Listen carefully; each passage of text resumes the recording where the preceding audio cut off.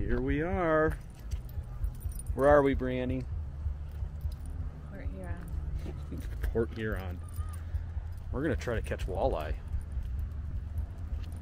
in the St. Clair River.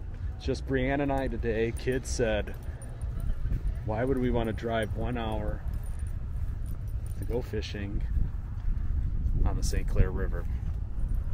So luckily Grandma said, hey, I'll watch the kids for a couple hours. So that's what we're do, to try to catch some walleye. If you look off in the distance, that's the Blue Water Bridge. And beyond that is the outlet of Lake Huron, right? Outlet? Look at that water. That is blue.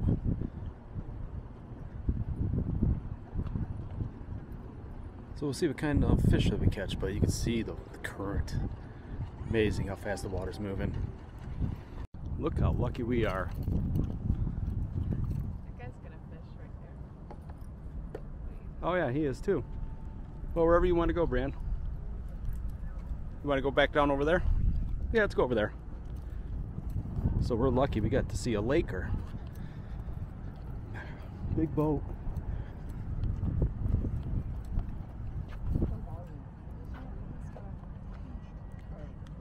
Look at that guy.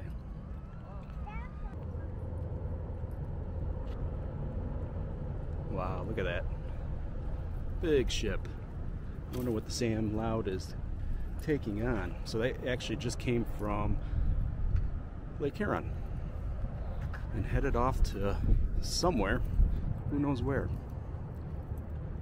Got our spot.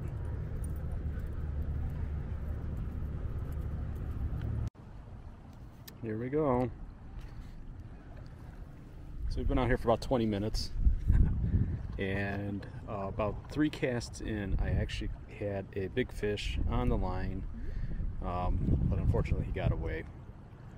So now we're just kind of fishing. Brains off on a little walk, get some water. Keep trying, but I keep getting nibbles. Nothing big yet. Nothing yet. Couple hits, and that's it. Definitely have to do a little bit more research on how to fish this stretch called shore fishing, St. Clair River. No luck. We're rookies. We'll figure it out.